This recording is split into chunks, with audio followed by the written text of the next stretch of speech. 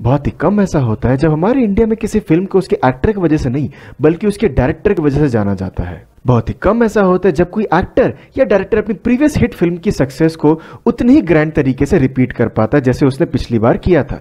For example Prabhas की साहो और आदेश्याम। पर एस एस राजामौली सर ने अपने बाहुबली के बाद आरआरआर से ये प्रूफ कर दिया कि वो अपने सक्सेस को ना बल्कि वो रिपीट तो कर सकते हैं ही, बल्कि उसको और भी ज़्यादा ग्रैंड तरीके से शो भी कर सकते हैं। तो हाँ मैंने तो देख लिया आरआरआर एंड मैं देने जा रहा हूँ इसका रिव्यू पर वीडियो शुरू करने से पहले शनि बाबा के प्रकोप से बचते हुए हेलो यूट्यूब मेरा नाम है ज्योतिप राजकुमार, आप सभी का स्वागत है मेरे चैनल में तो मूवी की स्टार्टिंग रामचरण की कैरेक्टर राम से होती है, जो ब्रिटिश गवर्नमेंट का एक ऑफिसर होता है, जो अपने सीनियर्स की ऑर्डर्स मानने के लिए कुछ भी करेगा।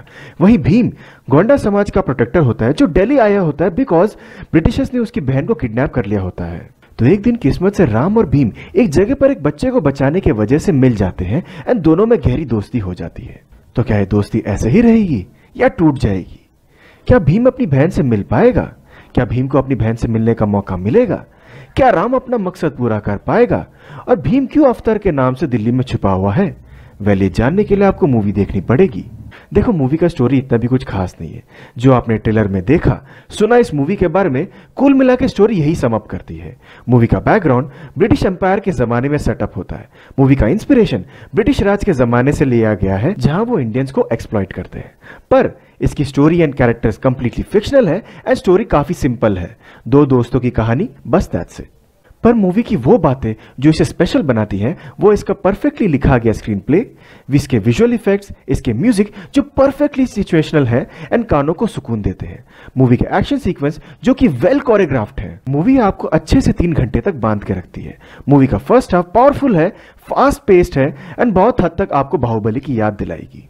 बट हाँ सेकेंड हाफ़ थोड़ा सा स्लो हो जाता है, पर वो मूवी को पूरी तरह से जस्टिफाई भी करता है। मूवी आपको अच्छे से हंसाती है एंड बहुत से जगह पर रुला भी देती है। मूवी के एक्टर्स की एक्टिंग की बात करें तो रामचरण और जूनियर एनटीआर ने लाजवाब काम किया है। रही बात अजय देवगन की तो उन्होंने रामचरण के पिता का रोल निभाया है फ़िल्म में एंड जो कि बहुत ही खूबसूरत तरीके से, बहुत ही लाजवाब तरीके से उन्होंने उस रोल को निभाया है। पर वहीं अगर आलिया भट्ट के रोल के सिग्निफिकेंस की अगर बात करें तो मूवी में उनका रोल इतना भी कुछ मुझे खास नहीं लगा। पर अगर बात करें, एस एस राजामौली सर की डायरेक्शन एंड विजन की तो उन्होंने अपने फ़िल्म से मेरा दिल जीत लिया। मतलब जहाँ जहाँ ज़रूरत थी वीएफएक्स की, वहीं पर ही प्रॉपरली तरीके से उसका यूज़ किया गया है।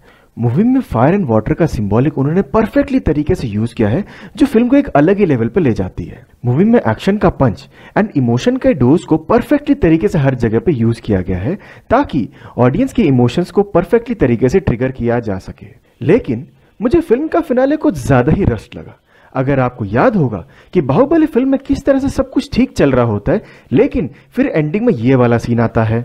और फिर याद आता है कि यार ये तो साउथ की फ़िल्म है यार। बस वही सेम फीलिंग आरआरआर के साथ आती है। बट देन हमें यह भी समझना ज़रूरी है कि यही तो हमारे इंडियन सिनेमा का स्टाइल है। एंड ये फ़िल्म एक इंडियन मसाला फ़िल्म है।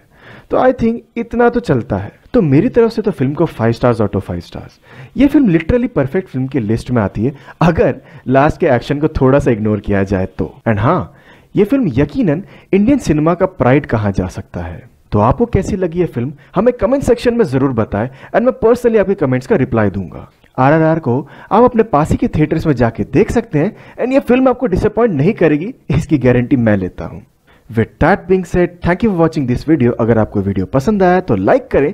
ज़्यादा ही पसंद आया तो शेयर करें एंड चैनल को सब्सक्राइब करना ना भूलें। हमारे चैनल के पेजेस को जाके फेसबुक इंस्टाग्राम एंड ट्विटर पर भी आप जाके फॉलो कर सकते हैं। लिंक्स आपको डिस्क्रिप्शन में मिल जाएँगी। Till then keep watching Shani Baba से बचे।